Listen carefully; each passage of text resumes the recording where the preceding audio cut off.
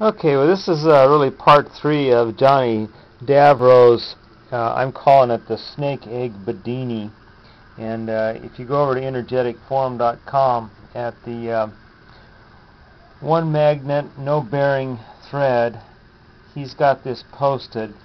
And the reason I'm calling it a snake egg is they're using these um, hematite magnets, these egg magnets that look like snake eggs and uh, you're running a whole motor on just that. And it's a Bedini circuit. Now I added this stuff that he recommended to cut the amp draw down and that did the trick. I'm now at about 10 milliamps running at about two and a half volts right there. And I've got it stabilized. And not only stabilized but I've got an LED lighting up off of it now and um, that's an air core. It's just a roll of 30 gauge wire I got at the store, hooked up the LED to it, and it works quite well. And it's generating electricity off that spinning magnet right there.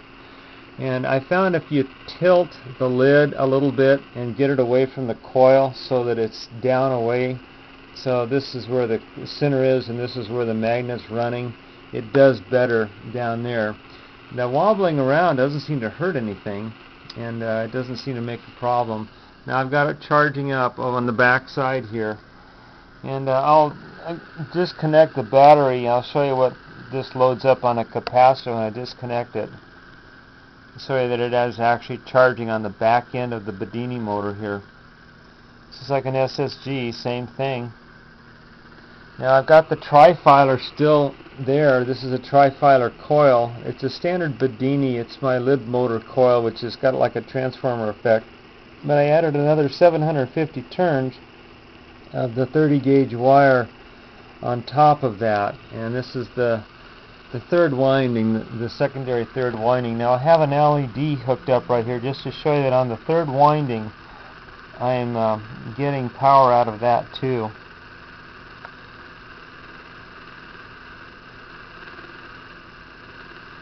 So I've got all kinds of energy coming out of this thing. So not a lot of energy going into it.